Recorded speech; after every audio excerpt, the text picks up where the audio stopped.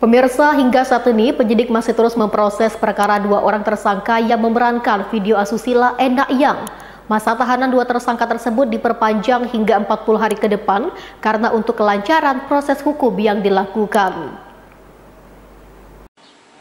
Masa penahanan dua orang tersangka KN dan MA, pemeran video asusila yang sempat viral, kini diperpanjang hingga 40 hari ke depan. Perpanjangan masa tahanan ini berlaku sudah dimulai sejak Selasa 29 Oktober 2024 hingga 7 Desember 2024 mendatang.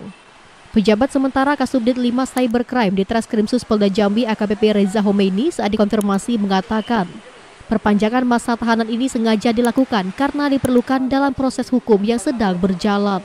Diberitakan sebelumnya, tersangka KN dan MA ditahan selama 20 hari di Rutan Mapolda Jambi Penahanan itu dilakukan setelah keduanya usai menjalani pemeriksaan oleh tim penyidik Subdit 5 Cyber di Treskrimsus Polda Jambi.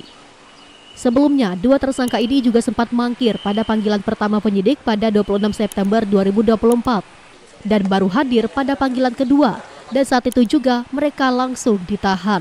Dua tersangka ini dikenakan pasal 29 Junto pasal 4 ayat 1 pasal 6 dan pasal 8 Undang-Undang Pornografi dengan ancaman hukuman penjara maksimal 10 tahun penjara. Rudiansyah, Jambi TV